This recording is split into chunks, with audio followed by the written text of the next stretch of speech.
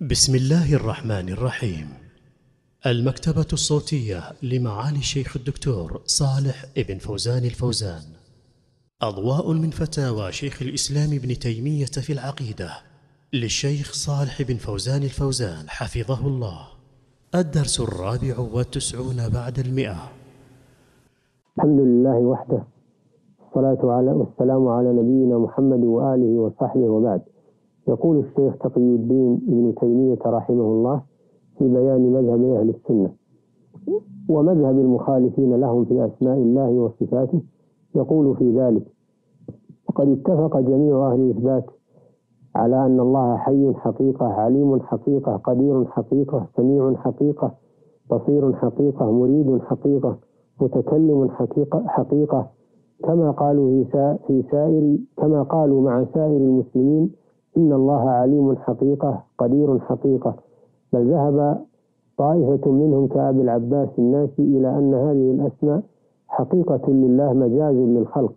وأما جمهور المعتزلة مع المتكلمة صفاتية من الأشعرية الكلابية والكرامية والسالمية وأتباع الأئمة الأربعة من الحنفية والمالكية والشافعية والحنبلية. وأهل الحديث والصوفية فإنهم يقولون إن هذه الأسماء حقيقة للخالق سبحانه وتعالى وإن كانت تطلق على خلقه حقيقة حقيقة أيضا ويقولون إن لله علما حقيقة وقدرة حقيقة وسمعا حقيقة وبصرا حقيقة وإنما ينكر أن تكون هذه الأسماء حقيقة النفاة من القرامطة الإسماعيلية الباطنية ونحوهم من المتفلسفة الذين ينفون عن الله الأسماء الحسنى الذين ينفون عن الله الأسماء الحسنى ويقولون ليس بحي ولا عالم ولا جاهل ولا قادر ولا عاجز ولا موجود ولا معدوم. وهؤلاء الذين يسميهم المسلمون الملاحدة لأنهم ألحدوا في أسماء الله وآياته. قد قال الله تعالى ولله الأسماء الحسنى فادعوه بها. وذروا الذين يلحدون في أسمائه سيجزون ما كانوا يعملون.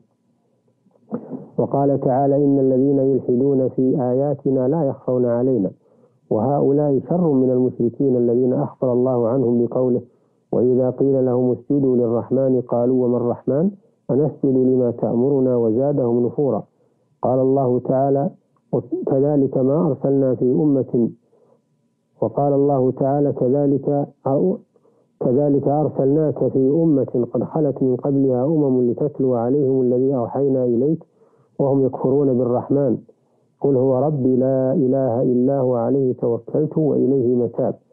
فإن أولئك المشركين إنما أنكروا اسم الرحمن فقط وهم لا ينكرون أسماء الله وصفاته. ولهذا ولهذا كانوا أي القرامطة عند المسلمين أكثر من اليهود والنصارى. ولو كانت أسماء الله وصفاته مجازا يصح نفيها عند الإطلاق لكان يجوز أن الله ليس بحي ولا عليم ولا قدير ولا سميع ولا بصير ولا يحبهم ولا يحبونه ولا استوى على العرش ونحو ذلك. ومعلوم بالاضطرار من دين الإسلام أنه لا يجوز إطلاق النفي على ما أثبته الله تعالى من الأسماء الحسنى والصفات بل هذا جحد للخالق وتمثيل له بالمعدومات. قد قال أبو عمر بن عبد البر أهل السنة مجمعون على الإقرار بالصفات الواردة كلها في القرآن والسنة والإيمان بها وحملها على الحقيقة لا على المجاز إلا أنهم لا يكيفون شيئا من ذلك ولا يحدون فيه صفة محصورة. وما وأما أهل البدع من الجهمية والمعتزلة والخوارج فينكرونها ولا يحملونها على الحقيقة ويزعمون أن من أقر بها فهو مشبه وهم عند من أقر بها نافون للمعبود لا مثبتون. والحق فيما قاله القائلون بما نطق به الكتاب والسنة وهم أئمة الجماعة. انتهى ما نقله الشيخ عن ابن عبد البر ثم قال الشيخ معلقا عليه وهذا الذي حكاه ابن عبد البر عن المعتزلة ونحوهم هو في بعض ما ينفونه من الصفات وأما فيما يثبتونه من الأسماء والصفات كالحي والعليم والقدير والمتكلم فهم يقولون إن ذلك حقيقة. ومن أنكر أن يكون شيء من هذه الأسماء والصفات حقيقة إنما أنكره لجهله مسمى الحقيقة أو لكفره وتعطيله لما يستحقه رب العالمين وذلك أنه كان يظن أن إطلاق ذلك يقتضي أن يكون المخلوق مماثلا للخالق فيقال له هذا باطل فإن الله موجود حقيقة والعبد موجود حقيقة وليس هذا مثل هذا والله تعالى له ذات حقيقة والعبد له ذات حقيقة وليس وليس ذاته كذات المخلوقات. وكذلك له سمع وعلم وبصر حقيقة وللعبد سمع وللعبد علم وسمع وبصر حقيقة وليس علمه وسمعه وبصره مثل علم مثل علم مثل علم الله وسمعه وبصره. ولله كلام حقيقة وللعبد كلام حقيقة وليس كلام الخالق مثل كلام المخلوقين. والله تعالى استوى على عرشه حقيقة وللعبد استواء على الفلك حقيقة وليس استواء الخالق كاستواء المخلوقين. فإن الله لا يفتقر إلى شيء ولا يحتاج إلى شيء بل هو الغني عن كل شيء. والله تعالى يحمل العرش وحملته بقدرته ويمسك السماوات والأرض أن تزولا. فمن ظن أن قول الأئمة إن الله مستو على عرشه حقيقة يقتضي أن يكون استواؤه مثل استواء العبد على الفلك والأنعام لزمه أن يكون قولهم إن الله إن الله له علم حقيقة وسمع حقيقة وبصر حقيقة وكلام حقيقة. يقتضي أن يكون علمه وسمعه وبصره وكلامه مثل علم المخلوقين وسمعهم وبصرهم وكلامهم. إلى أن قال رحمه الله فمن ظن أن أسماء الله تعالى وصفاته أن أن أسماء الله تعالى وصفاته إذا كانت حقيقة لزم أن يكون مماثلا للمخلوقين.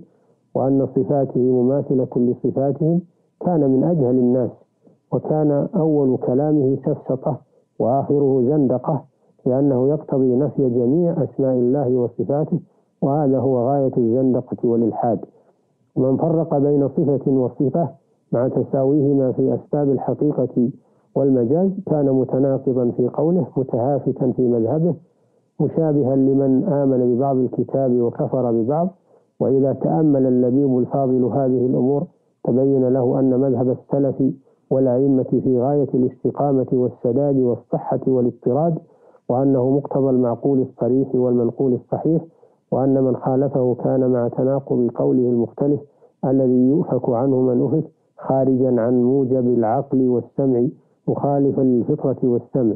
انتهى كلام الشيخ رحمه الله في هذه الحلقة. وبه يظهر بطلان قول الذين لا يزالون يقولون إن مذهب السلف أسلم ومذهب الخلف أعلم وأحكم. وذلك أنهم يظنون أن مذهب السلف هو التفويض للصفات والجهل بمعناها وأن الخلف علموا المقصود منها وأنه خلاف الظاهر. فصاروا يؤولونها بغرائب المجازات. ثم إن قولهم إن مذهب السلف أسلم قول متناقض. لأنه لا لا تحصل السلامة إلا مع العلم. دل على أن السلف يعلمون معنى الصفات ويثبتونه وأن الخلف جهلوا المعنى الصحيح للصفات فصاروا يتخبطون في تأويلها. ثم كيف يكون الخلف المتأخرون أعلم من السلف المتقدمين بما فيهم الصحابة والتابعون والقرون المفضلة التي أثنى عليها رسول الله صلى الله عليه وسلم وذم ما بعدها هل هذا إلا عين الجهل بمكانة السلف ومقدار علمهم؟ ولهؤلاء الضلال أشباه من بعض مثقفي عصرنا الذين يجهلون قدر الذين يجهلون قدر العلماء ويجهلونهم ويقولون إنهم لا يعرفون إلا أحكام الحيض والنفاس. قصدهم من ذلك التنفير من علماء المسلمين والفصل بينهم وبين شباب الأمة حتى يتسنى لهم تضليلهم وتطويعهم لأغراضهم ومبادئهم. نسأل الله أن يهدي ضلال المسلمين ويقمع الأعداء والحاسدين وصلى الله وسلم على نبينا محمد وعلى آله وصحبه أجمعين والحمد لله رب العالمين وبهذه انتهت هذه الحلقة.